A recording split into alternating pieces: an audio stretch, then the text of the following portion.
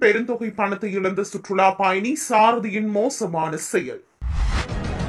பானின் விலை குறைப்பு தொடர்பில் வெளியான அறிவிப்பு. அரசாங்கத்திற்கு விடுக்கப்பட்டுள்ள பகிரங்க எச்சரிக்கை. வெளிநாட்டில் வேலை வாங்கி தருவதாக கூறி பண மோசடி செய்த நபர் கைது. பெரிய வெங்காயத்தின் விலை அதிகரிப்பு. கீழ் வளிமண்டலத்தின் கொந்தளிப்பான தன்மை தொடரும். சுங்கத்திடம் சிக்கிய மெத்தபட்டமைன் போதை பொருள். புற்றுநோய்க்கான மருந்து பொருட்கள் துறைமுகத்தில் சிக்கி உள்ளன Azur air air France Swiss நிறுவனங்கள் இலங்கைக்கு மீண்டும் சேவைகளை ஆரம்பிக்கின்றன. நாமல் குமார் மீது பாலியல் குற்றச்சாட்டு அவரை தாக்கியதாக ஆய்வர் கைது. எட்டாம் திகதி சந்திர கிரகணம் இலங்கையர்களுக்கு கிடைக்கும் வாய்ப்பு. இனி விரிவான செய்திகள். நியூசிலாந்து நாட்டு சுற்றுலா பயணி ஒருவர் இலங்கைக்கு வருகை தந்திருந்த போது கொழும்பு நகரை சுற்றி பார்க்க ஒன்றரை லட்சம் ரூபாவை சுற்றுலா வழிகாட்டி ஒருவர் பெற்றுக் கொண்டுள்ளார். நியூசிலாந்து பயணியிடம் சாரதி ஒருவர் கொழும்பு நகரை சுற்றி வர இருபது டாலர் தேவைப்படுவதாக கூறினார். இதனைத் தொடர்ந்து ஒரு டாலர் நான்காயிரத்து ஐநூறு ரூபாய் என்றும் அந்த தொகையை ரூபாவாக தர வேண்டும் என்றும் கேட்டுக்கொண்டதற்கு இணங்க அந்த தொகையை சுற்றுலா பயணி வங்கி அட்டை மூலம் பெற்று அவரிடம் கொடுத்துள்ளார். இது தொடர்பில் பின்னர் நியூசிலாந்து நாட்டவர் போலீசில் செய்த முறைப்பாட்டின் அடிப்படையில் குறித்த நபர் கைது செய்யப்பட்டு நீதிமன்றத்தில் முன்னிலைப்படுத்தப்பட்டார்.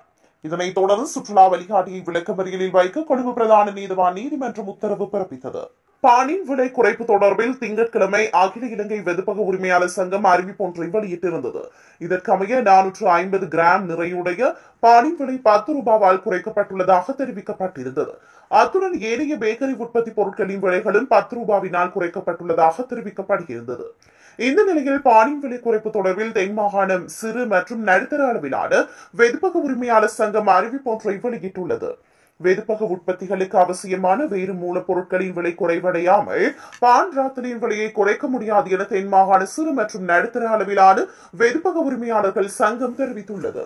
ஊடக சந்திப்பில் தென் மாகாண சிறு மற்றும் நடுத்தர அளவிலான வெதுப்பக உரிமையாளர் சங்கத்தின் தலைவர் கமல் பெரேரா இது குறித்து நேற்று கருத்து வெளியிட்டுள்ளார். மேலும் கூறுகையில் புறக்கோட்டை மொத்த சந்தையில் ஒரு கிலோகிராம் கோதுமை மாவின் விலை இருநூற்று ஐம்பது ரூபாவாக உள்ள போதிலும் கொழும்பிற்கு வெளியே உள்ள இடங்களில் அந்த விலைக்கு கோதுமை மாவு விற்பனை செய்யப்படுவதில்லை. கோதுமை மாவையும் தண்ணீரையும் மாத்திரம் கொண்டு பான்றாத்தலை உற்பத்தி செய்ய முடியாது. ஏனைய உள்ளீட்டு பொருட்களின் விலைகள் குறைவடையவில்லை என்றும் குறிப்பிடப்பட்டுள்ளது. அரசாங்கத்தினால் சமர்ப்பிக்கப்பட உள்ள வரவு செலவு திட்டம் தொடர்பில் எச்சரிக்கை விடுக்கப்பட்டுள்ளது. எதிர்க்கட்சி சார்பில் குறித்த எச்சரிக்கை விடுக்கப்பட்டுள்ளது. நாடு பொருளாதார நெருக்கடிக்கு நிலைமைக்கு முகம் கொடுத்துள்ள தற்போதைய நிலையில் வலிமையாக சமர்ப்பிக்கும் வரவு செலவு திட்டத்தையே இம்முறையும் அரசாங்கம் சமர்ப்பித்ததால் நாடு பேரழிவை சந்திக்கும் என எதிர்க்கட்சி நாடாளுமன்ற உறுப்பினர் ஹர்ஷடி சில்வா எச்சரித்துள்ளார். எதிர்க்கட்சி தலைவர் அலுவலகத்தில் நேற்று நடைபெற்ற ஊடகவியலாளர் சந்திப்பின் போது அவர் இதனை கூறினார். அவர் மேலும் கூறுகையில் நாட்டில் வறுமை கோட்டுக்கு கீழ் உள்ளவர்களின் எண்ணிக்கை கடந்த இரு வருடங்களில் பாரிய அளவில் அதிகரித்துள்ளது. எனவே இவற்றை கருத்தில் கொண்டு வரவு செலவு திட்டம் சமர்ப்பிக்கப்படவில்லை என்றால் சமர்ப்பிக்கப்படும் வரவு செலவு திட்டத்தில் எவ்விதமான பயனும் இல்லை. நாம் அரசியல்வாதிகள் என்பது உண்மையே. நாம் எதிர்க்கட்சியில் இருப்பதும் உண்மையே. இதற்காக அரசாங்கம் கொண்டு வரும் அனைத்து வேலை திட்டங்களையும் நாம் எதிர்க்கப் போவதில்லை எனவும் அவர் கூறினார். வெளிநாட்டில் வேலைவாய்ப்பு பெற்றுத் தருவதாக கூறி சுமார் முன்னூறு இளைஞர்கள் யுவதிகளிடம் பண மோசடி செய்த நபர் ஒருவர் தலங்கம போலீசாரினால் கைது செய்யப்பட்டுள்ளார். இந்த மோசடியில் சிக்கிய சிலர் மேற்கொண்ட முறைப்பாட்டுக்கு அமைவாக இவர் கைது செய்யப்பட்டுள்ளார். இந்த போலி வெளிநாட்டு முகவர் நிலையம் பத்திரமுள்ள ரஜமல்வத்த என்ற இடத்தில் நடத்தப்பட்டுள்ளது. மலேசியாவில் தொழில் வாய்ப்பை பெற்றுத் தருவதாக தெரிவித்த அஜித் குமார் விக்ரமசிங்க என்ற நபர் நாடு முழுவதிலும் சுமார் நூற்று எண்பது இளைஞர் யுவதிகளிடம் தலா ஒரு லட்சத்து ஐம்பத்தி ஓராயிரம் ரூபாய் வீதம் ஏனையவர்களிடமும் ஆறாயிரம் ரூபாவும் பணம் பெற்றுக் கொண்டுள்ளார். பணம் செலுத்தப்பட்டு ஆறு மாதங்கள் ஆகியும் வேலை வாய்ப்பு கிடைக்கவில்லை. இதனால் இந்த வெளிநாட்டு வேலைவாய்ப்பு முகவர் நிலையத்திற்கு சென்று இவர்கள் கேட்டுள்ளனர். இதன் உரிமையாளர் பல்வேறு கூற்றுக்களை தெரிவித்து தம்மை ஏமாற்ற முயற்சித்ததாக அந்த இளைஞர்கள் தெரிவித்துள்ளனர். இது தொடர்பாக தலங்கம போலீஸ் நிலையத்தில் செய்த முறைப்பாட்டுக்கு அமைவாக சந்தேக நபர் கைது செய்யப்பட்டுள்ள நிலையில் குறித்த சம்பவம் தொடர்பாக தலங்கம போலீசார் விசாரணைகளை மேற்கொண்டு வருகின்றனர். பெரிய வெங்காயத்தின் விலை வழக்கத்தை விட அதிகமாக இருப்பதாக நுகர்வோர் தெரிவித்துள்ளனர். பொதுச்சந்தையில் ஒரு கிலோ பெரிய வெங்காயம் இருநூற்று எண்பது முதல் முன்னூறு ரூபாய் வரையில் விற்பனை செய்யப்படும் நிலையில் பாலியகுட மெனிங் சந்தையில் ஒரு கிலோ பெரிய வெங்காயம் இருநூற்று ஐம்பது ரூபாவுக்கு விற்பனை செய்யப்பட்டது. இதேவேளை பாலியகுட மெனிங் சந்தையில் ஒரு கிலோ உள்ளூர் உருளைக்கிழங்கு முன்னூற்று முப்பது ரூபாவாகவும் நாரகம்பிட்டி பொருளாதார நிலையத்தில் நானூற்று எண்பது ரூபாவாகவும் விற்பனை செய்யப்பட்டது. இதேவேளை மரக்கறிகளின் விலையும் வளமையை விட அதிகரித்துள்ளதாக நுகர்வோர் தெரிவிக்கின்றனர்.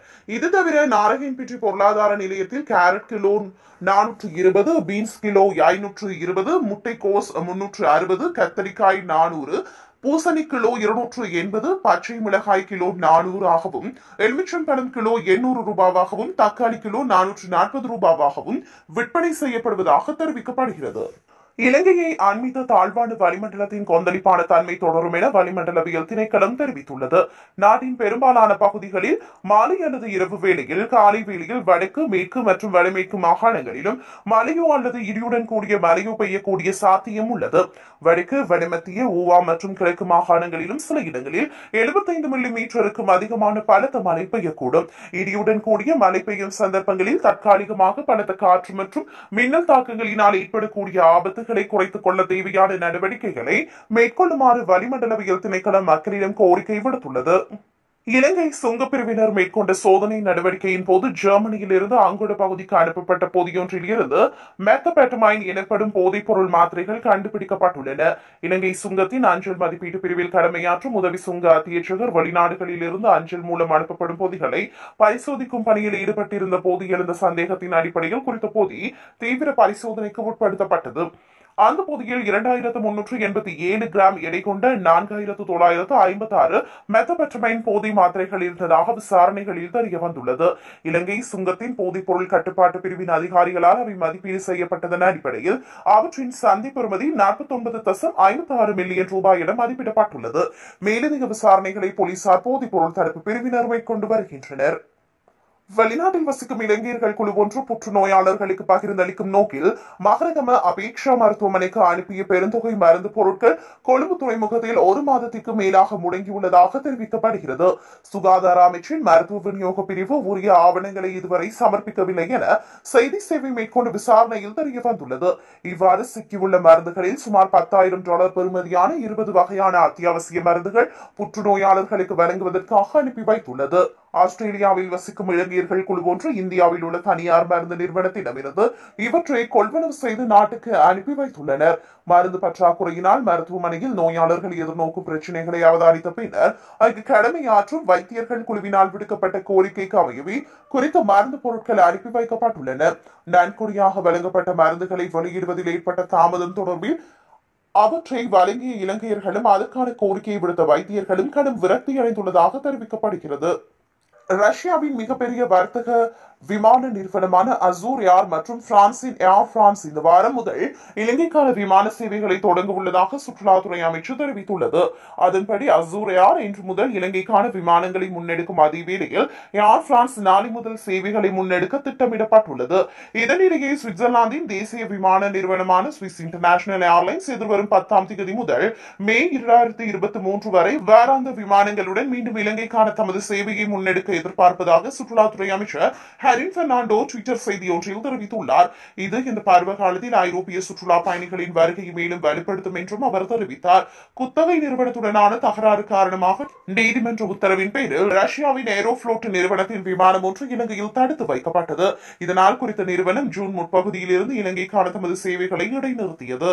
பெண் ஒருவருக்கு பாலியல் தொந்தரவு மேற்கொண்டு குற்றச்சாட்டின் பேரில் ஊழல் எதிர்ப்பு முன்னணியின் செயற்பாட்டு பணிப்பாளர் நாமல் குமாரவை வரகாபுர காவல்துறையினர் கைது செய்தனர்.